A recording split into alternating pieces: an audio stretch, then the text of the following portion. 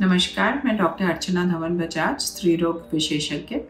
आज हम बात करेंगे एक बहुत इंपॉर्टेंट या महत्वपूर्ण टॉपिक पे, जो हमारी सेक्सुअल हेल्थ से रिलेटेड है और सेक्सुअल हेल्थ की इम्पोर्टेंस क्यों बढ़ती जा रही है हमारे समाज में और इसके, इसको ध्यान रखने के लिए हम क्या क्या कर सकते हैं। समाज खुलता जा रहा है, हमारे बच्चे लिबरल होते जा रहे हैं, इसके चलते कम उम्र में फ़िज़िकल एक्टिविटी सेक्सुअल इंटरकोर्स शुरू हो गया है। बहुत सारे लोग विदेश आना जाना शुरू हो गए हैं और वहाँ की संस्कृति को अपनाने लग गए इसके चलते ये ज़रूरी हो गया है कि हम अपनी आने वाली जनरेशन को या यंग जनरेशन को कॉन्ट्रसेप्शन के बारे में कॉन्ट्रसेप्टिव पिल्स के बारे में अनवांटेड प्रेगनेंसी या अनवांटेड बर्थ्स किस तरह से हम रोक सकते हैं? सेक्सुअली ट्रांसमिटेड डिज़ीज़ को किस तरह से रोक सकते हैं? इन सब चीज़ों के बारे में डिटेल में डिस्कस करें।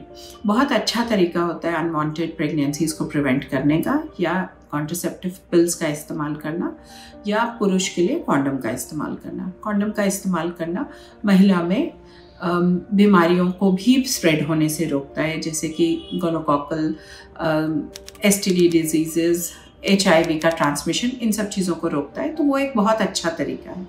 इसके अलावा गर्भ निरोधक गोलियाँ या कॉन्ट्रसेप्टिव पिल्स जो इस्तेमाल की जा सकती हैं उनका बेसिक फ़ंक्शन ये होता है कि अंडे का बनना और रिलीज़ होना वो रोके ओवुलेशन रोके जिसके चलते प्रेगनेंसी ना हो।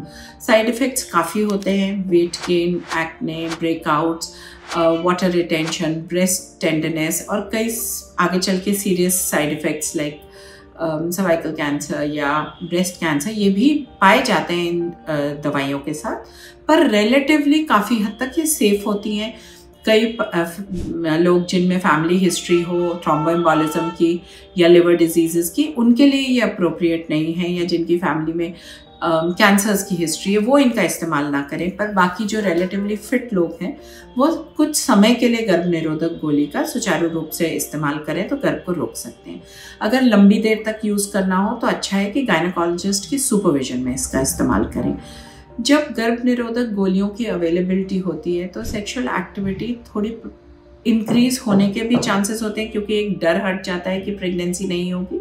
मगर दूसरी तरफ़ कई लोगों की सेक्सुअल इंटरकोर्स करने की इच्छा या लिबिडो कम हो जाता है, और जिसके चलते वो इंटरकोर्स करने की फ्रीक्वेंसी भी घट सकती है तो ये दोनों चीज़ों को ध्यान में रखना चाहिए। इसके अलावा अगर आपको कोई मेथड ऑफ़ कॉन्ट्रसेप्शन यूज़ करना है तो उसके लिए हमेशा डॉक्टर की सुपरविजन ज़रूर लें और टाइम टू टाइम डॉक्टर को विज़िट ज़रूर करते रहें।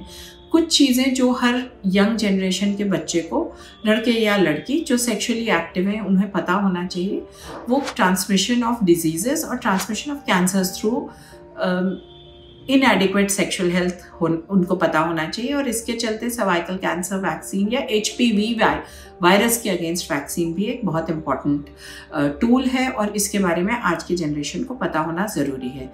बस ये कुछ चीज़ों का ध्यान रख के आप काफ़ी सेफली इन चीज़ों का इस्तेमाल कर सकते हैं।